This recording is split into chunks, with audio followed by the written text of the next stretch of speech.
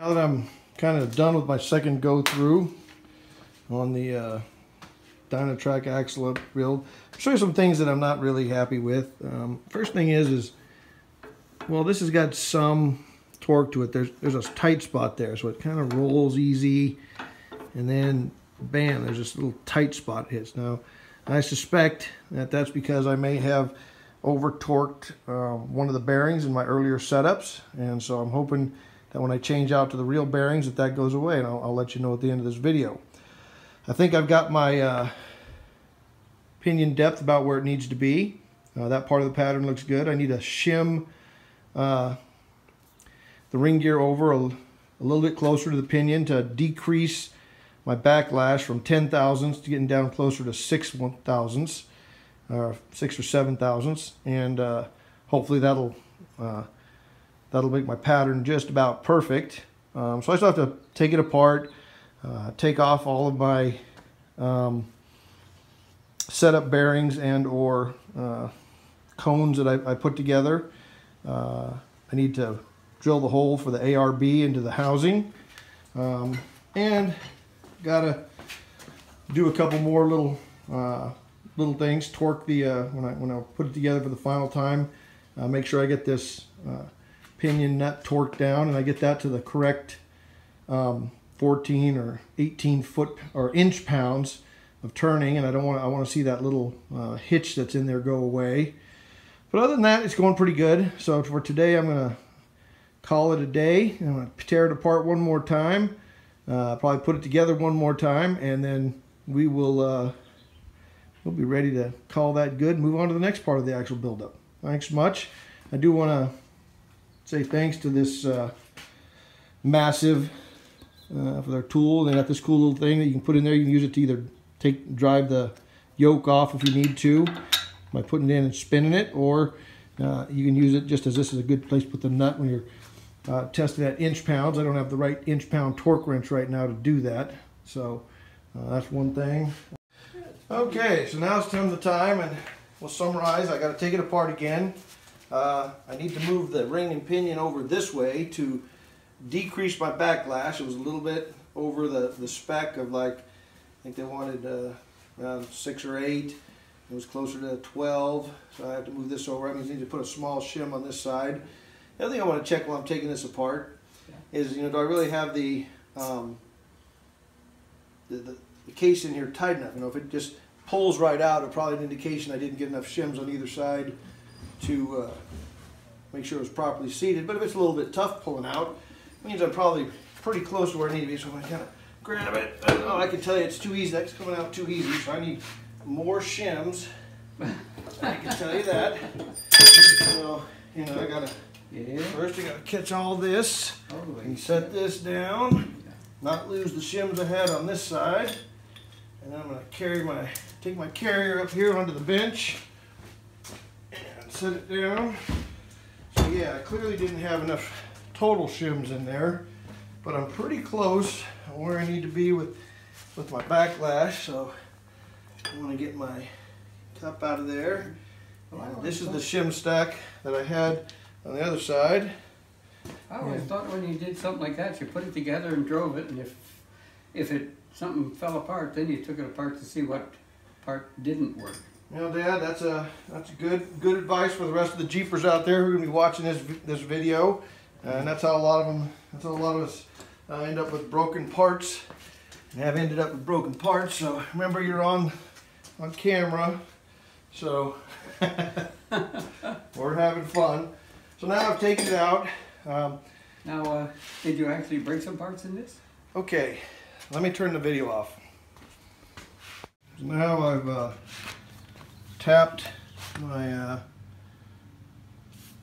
real no kidding bearing in and it's pressed in. I, I, used this piece of aluminum I had and it was fits perfect right around the circumference so I was driving with a softer piece of metal on the hardened piece and kind of I used my little torch just not to heat up, you know, just to warm up the housing around there to make it expand a little bit. Then tapped it in. Some people will freeze these bearings. Okay, well, I've pressed the bearing onto the uh, pinion, uh, placed in the housing, got the new permanent cup there. Now, here's my shim stack. That's going to determine um, my pinion preload, my pinion bearings preloads. So I took the smallest shim out of there I could because I had a little bit of preload, but not quite what I wanted. Or not quite the 12 or 14 pounds for new bearings. So I'm not going to press the new bearing on yet, which I have, but I'm going to go ahead and uh, use my setup bearing.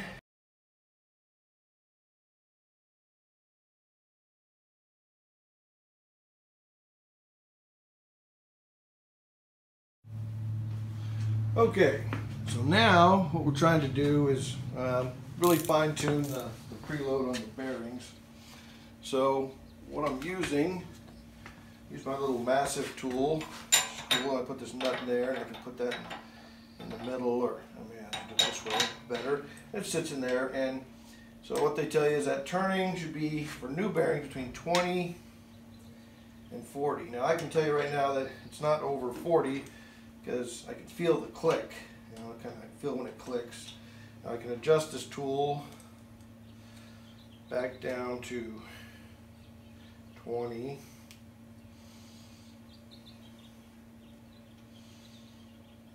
Okay, there we go. Back down to 20. Let's clicks in. Okay, and that's of course not half as much, but still even at, oops, put on the seven, even at 20, I'm not clicking. So I know that I need to take a shim out and see if I can get in that range. Okay, so since I'm trying to be careful not to, uh, not to crush my bearings and to get everything set up right, I took the thinnest shim out of the stack. It was about a 15 thousandths shim. I'm going to put my pinion back in, put my shims back in. Put my setup bearing back on top of the shims. Don't forget my thrust washer. My flange on there. And oh, my washer. And I'm going to go ahead and spin my nut on again. And I'm going to go ahead and torque this bad boy down let you watch, kind of get a sense of kind of how tight I'm working this down to really make sure we're good. And as I've talked about before, you know, I'm not terribly worried about the depth up here because that is set by how many shims are in there. And much no matter how tight I tighten this, I'm not going to be able to significantly change uh, what the pinion depth is, and I think it's really close to being right.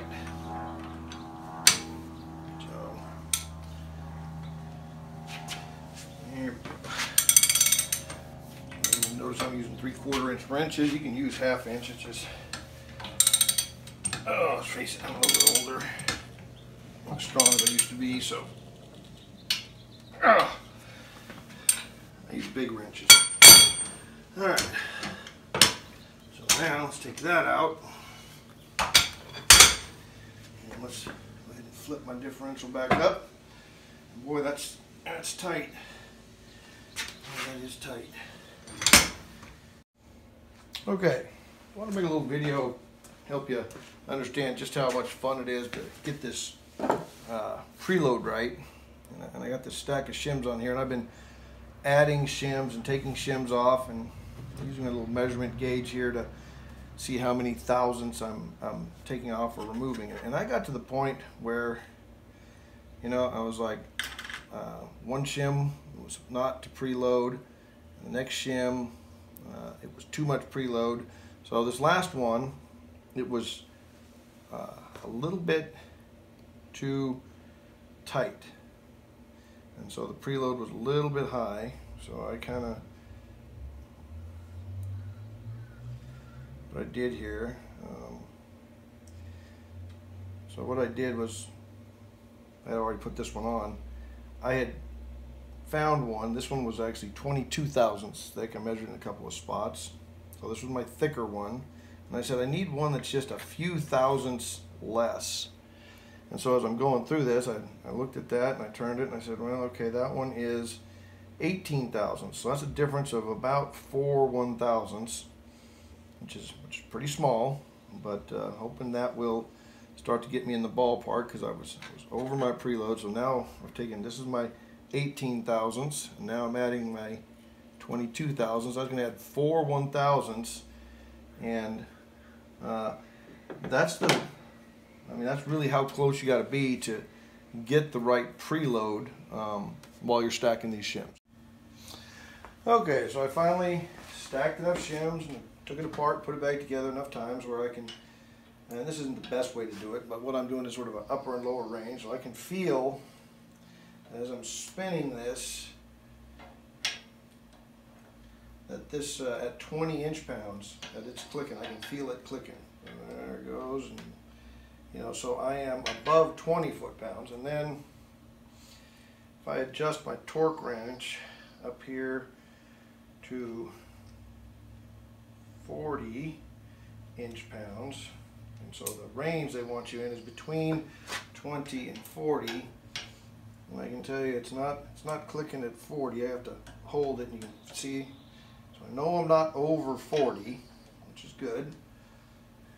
I know I'm kind of, you know, because as I'm spinning it around, I guess I could use I'm trying to use this little nut. I could also use one of these, is a little different, but you can tell that at 40, nope, it's not above 40. Nice and smooth. And like I said, when I adjust it down to 20, it's it's clicking over that. So, I'm, so I'm not over 40. Um, I am over 20, so I'm in that right range, and I'm going to call that good uh, for pinion preload. Okay, now I'm doing kind of final installation, so I've added a extra thousandth shim there. And I've installed these little um, seals for the ARB in there. That's one of the last things you do. And you're going to put that bad boy on there. And uh, real gently. So I'm not going to film this, but I'm going to take my time and get that on there just right. And I'm going to drop that housing, that ARB into the housing. Okay, so we're getting closer to final setup what I'm doing now is just checking how much play I have on this. So when you, I use the spreader to open this up and I put in the same shim pack that I had before.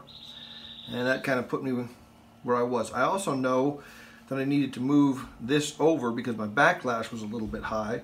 So I put a really thin, I think it was a three or couple thousandths shim uh, in here slide this over.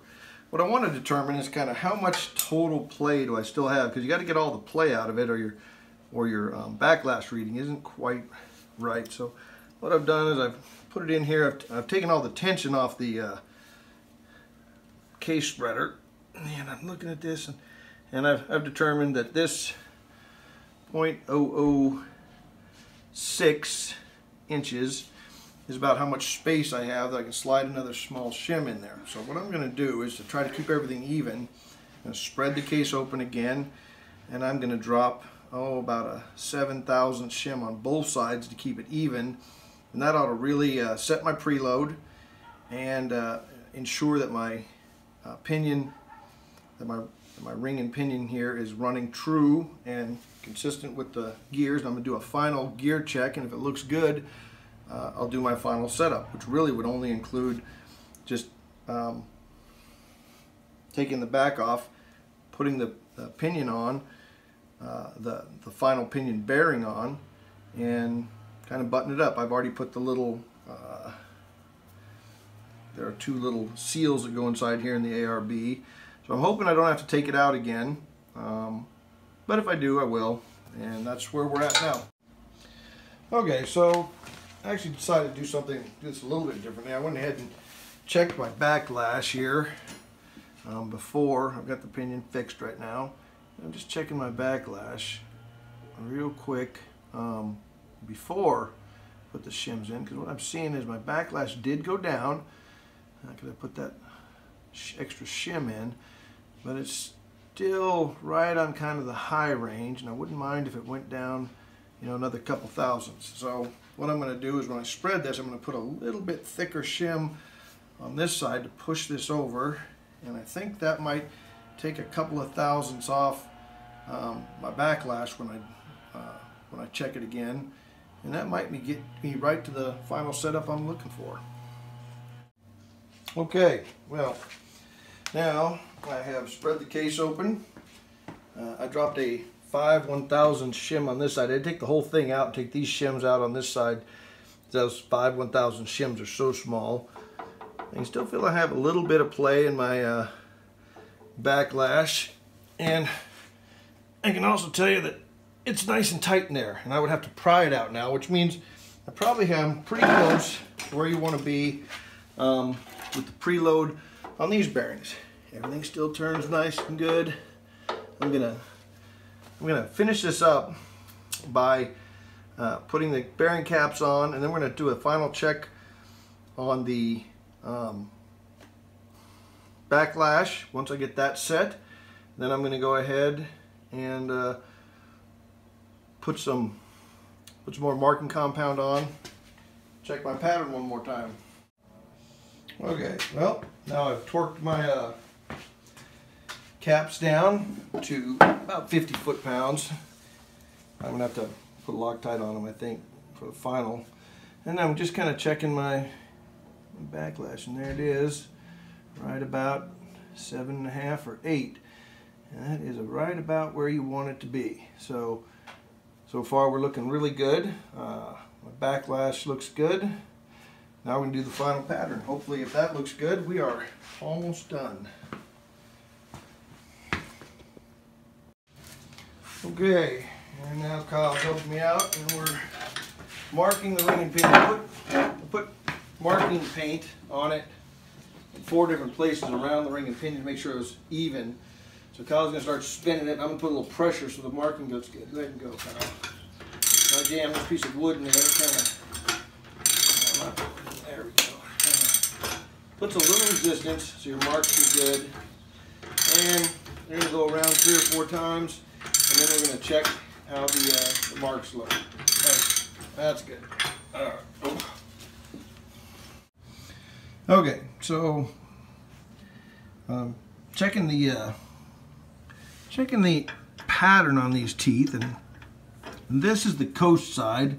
Thank you, Mr. Billa Vista and Dana 60 Bible. That guy, I learned so much from him off the internet. But to me, that looks pretty good. It's in the middle. It's not off on either side. It's not too far up. It's not too far down. And that's the coast side. Now I'm going to look at another place because I did put marking gear. So this would be the drive side of the teeth. And again, you see, yeah, it's not going uh, uh, off the reservation. They appear to be pretty close, centered middle and left to right. Um, if you were super picky, you might say that's a little bit too far to the inside. But, uh, you know, for me, I'm, I'm going to call that good. That, that certainly fits in uh, what I would call an acceptable drive pattern. There's a few more things left to do uh, to finish this installation up, but ultimately um, I think that's where uh, I wanted to end up.